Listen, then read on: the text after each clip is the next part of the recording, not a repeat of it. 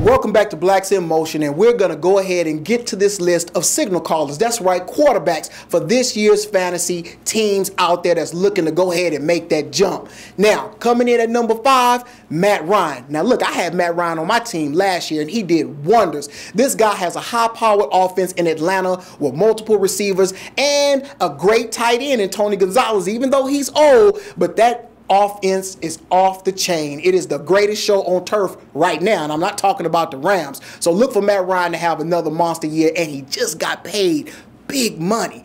Coming in at number four, Cam Newton, the ultimate dual threat quarterback that we have right now in the league. Look, this guy is 6'5, he's over 200 pounds, and if he's not running by you, he's running over you. And look for him just to become better as a passer. So that makes him even more deadly in this year's fantasy leagues. Coming in at number three, Old Man River, Peyton Manning. Now listen, I'm not a Peyton Manning fan. I've said it before and I'll continue to say it. And I thought his arm was messed up, but I guess he made a detractor out of me last year because that dude was prolific at the helm. He has even more talent at the wide receiver position right now, adding Wes Welker to the team. So look for Peyton Manning to have another monster year, even though he's 37 years of age.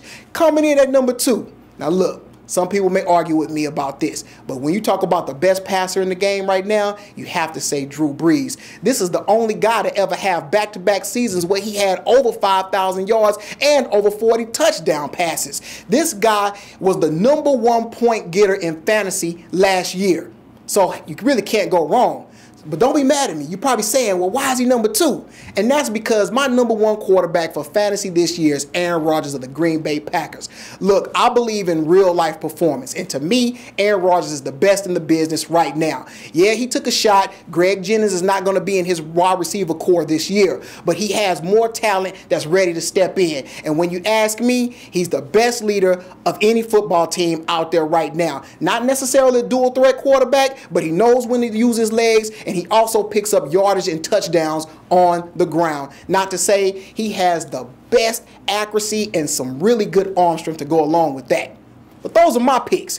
You may not agree. Hopefully you do. Either way, let me know. Hit me up in my email, clif at blackvideonews.com. Until next time, stay tuned and stay logged on to Blacks in Motion.